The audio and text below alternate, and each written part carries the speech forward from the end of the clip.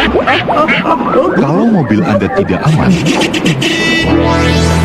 ganti dengan Verosa GT baru.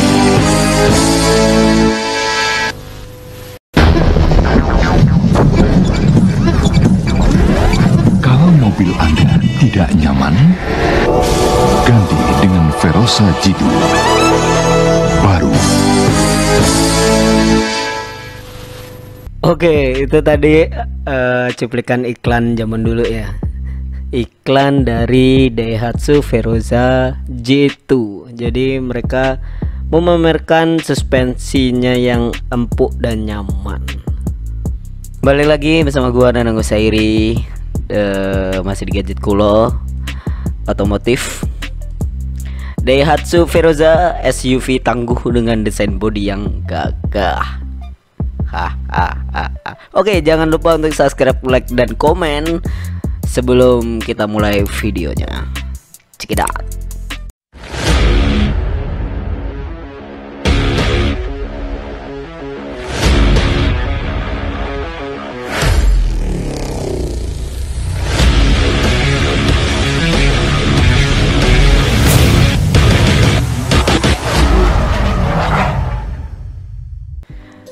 Daihatsu Veroza adalah mobil keluaran Daihatsu yang begitu ikonik dan melekat di ingatan masyarakat Indonesia terutama tahun 1990-an jenis mobil Jeep tapi lebih ramah untuk dikendarai di daerah perkotaan karena desainnya yang tidak terlalu maskulin sekaligus ramah bahan bakar.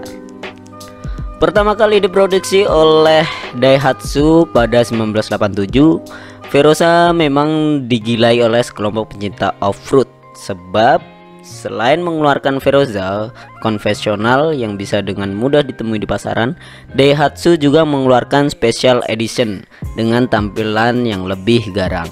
Daihatsu Verosa yang berjenis Sport Utilities Vehicle atau SUV susah ya ngomongnya ini tetap menggunakan bensin sebagai bahan bakarnya Daihatsu Veroza masuk ke Indonesia Sejak pertama kali dibuat, Veroza telah meluas di pasaran Jepang dan Amerika Serikat.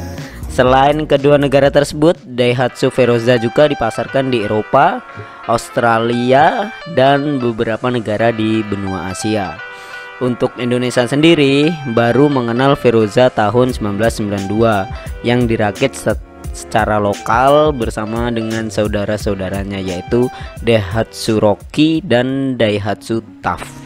Sayangnya Daihatsu Veroza berhenti produksi pada 1999 yang kemudian digantikan eksis eh, susah nih nyebutnya ya. eksistensinya oleh Daihatsu Terios dan Daihatsu Taruna. Meskipun sudah tidak diproduksi lagi, Veroza tetap dicari oleh pecinta otomotif dan banyak diperjualbelikan edisi bekasnya dengan kisaran harga di bawah 100 juta. Ya, ada lah yang di bawah 50. Kalian bisa tonton videonya eh, sebelum sebelum sebelumnya ya. Cari aja di draft video gadget kulo otomotif. Tiga generasi Veroza Daihatsu Veroza memiliki tiga generasi di Indonesia. Ketiganya memiliki model bodi yang hampir sama Tetapi kelebihan yang dimiliki tentu berbeda-beda.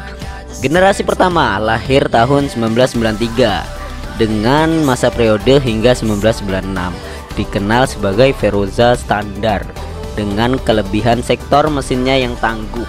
Sementara Veroza Special Edition yang hit dari tahun 1994 hingga 1996 menjadi Veroza generasi kedua. Generasi ketiga yaitu Veroza G2 mengaspal selama 4 tahun dari 1994 hingga 1999. Fitur generasi ketiga ini lebih kompleks dengan power window, steer, uh, power steering, control door lock, hingga suspensi independen yang terasa lebih halus. Sehalus kulit dia. Kelebihan Veroza sebagai mobil SUV Menjadi mobil SUV, Veroza tentu memiliki banyak kelebihan dan menjadi iming-iming bagi pecinta mobil. Nah, untuk lebih jelasnya langsung saja kita simak lagi penjelasan berikut ini. Desain bodinya. Desain bodi yang paling terlihat adalah desain interiornya yang gagah dan terlihat begitu maco sehingga cocok untuk pengemudi yang gemar mengendari mobil dengan akselerasi tinggi terlebih off-road ya Body Veroza memang didesain dengan tampilan yang minim lekukan sehingga tampak gagah dengan ground clearance yang tinggi. Terlebih desain pilar B yang dimiliki mobil ini juga dapat difungsikan sebagai pelindung roll over.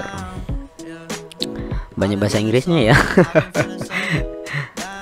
Bisa menerjang segala medan. Nah, ini yang menjadi uh, pertimbangan para cowok-cowok, para laki-laki ya. Daihatsu Veroza memang didesain sebagai kendaraan yang bisa dikendarai di segala kondisi. Bahkan ketika banjir, Veroza bisa menerjangnya karena desain ground clearance-nya yang tinggi, sehingga air tak mudah masuk ke mesin atau dalam ke dalam mobil. Kecepatan yang dipunyai Feruza untuk menerjang banjir bahkan tidak berbeda dengan ketika menerjang jalanan lenggang. Selain medan yang banjir, Feroza juga aman sekali untuk dikendarai di jalanan yang berlumpur, terjal tanpa harus takut terjadi selip roda. Keren ya? Kelebihan berikutnya kapasitas muat besar. Ukuran mobil jenis SUV tentu tidak diragukan lagi kapasitas muat penumpangnya Sehingga Veroza tentu saja bisa menampung muatan yang besar. Jika sahabat ingin berlibur dengan keluarga dan berwisata ala off-road tentu Veroza bisa menemani. Kabin Veroza bisa menampung sekitar 6 penumpang. Begitu lengang sehingga sahabat yang memiliki anggota keluarga yang banyak tentu bisa beramai-ramai pergi berwisata holiday. Performa mesin yang tangguh. Torsi yang bisa dicapai oleh mesin Daihatsu Veroza mencapai 127 Nm pada RPM 4800 loh.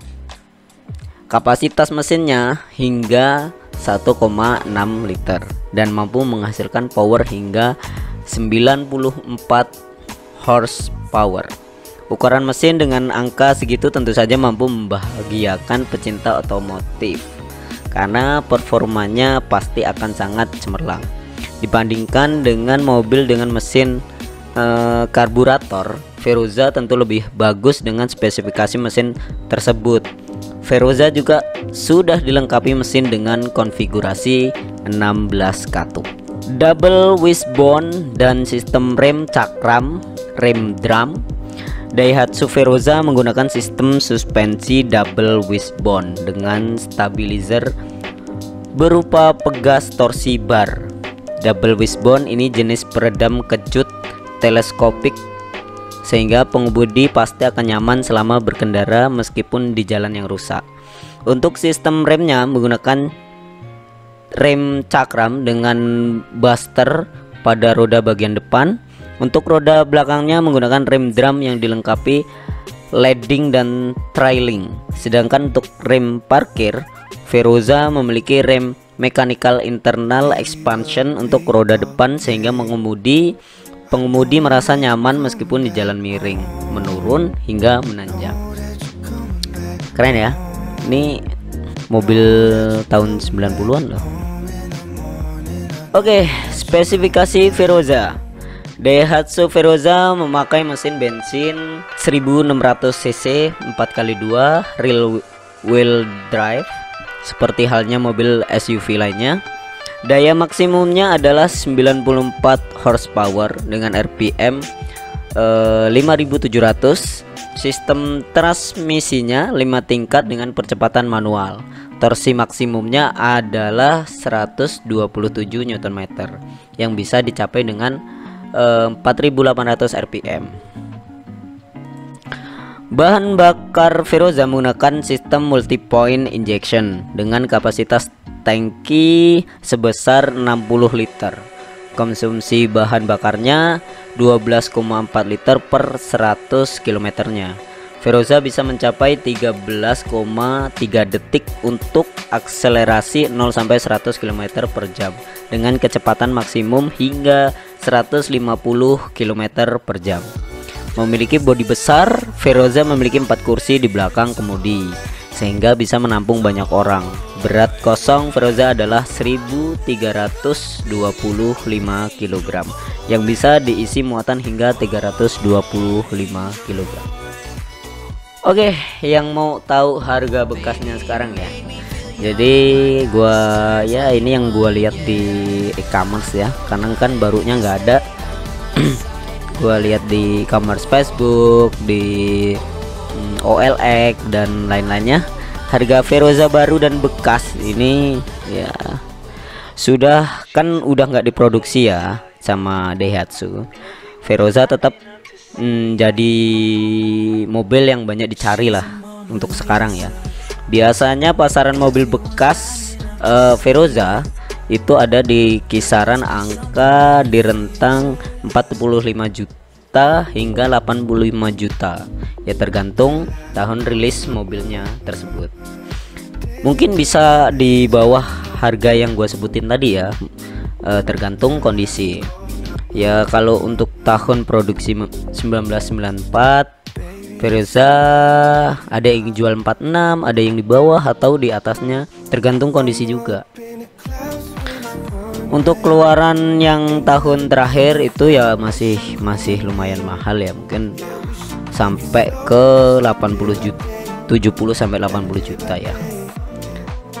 Ya kalau kalian bisa cari jeli gitu ya di e-commerce kalian bisa dapat harga di angka 30 jutaan lah.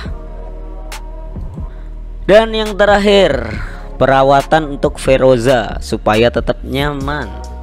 Biasanya pemilik Feroza akan mengeluh mengenai radiator yang sering overheat karena ini sahabat harus rajin mengecek ketinggalan air di ekspansi tank radiator dan air di radiator ya agar tahu bagaimana kondisinya. Jika memang tutup radiator sudah tidak bisa menutup sempurna, sebaiknya lekas diganti. Selain radiator yang harus rajin dicek untuk dibersihkan bagian keraknya, dinamo ampere juga tak kalah wajib untuk dicek. Perhatikan cool brushnya ketika membongkar dinamo ampere apakah sudah aus atau belum dan lekas diganti jika kondisinya sudah aus. Daripada mogok teman-teman juga harus memperhatikan pompa bensin ya. Feroza tetap membutuhkan pompa bensin meskipun dia e, menggunakan karburator sehingga jika pompa bensin rusak mesin mobil pasti susah untuk dihidupkan. Ya kayak mogok gitulah ya jadi itulah penjelasan uh, yang bisa gue jelasin. Mungkin teman-teman yang ada yang kurang pas dari penjelasan gue boleh komentar di bawah ya.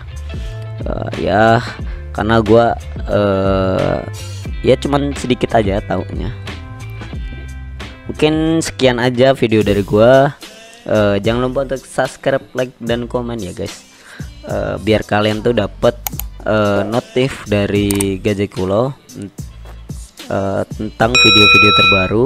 Kalau kalian penasaran dengan konten-konten uh, Gadget Kulo, kalian bisa scroll video di channel kami. Oke, okay, sekian aja. Gua Nanang Ngesairi masih di Gadget Kulo terus ya pokoknya. Dadah.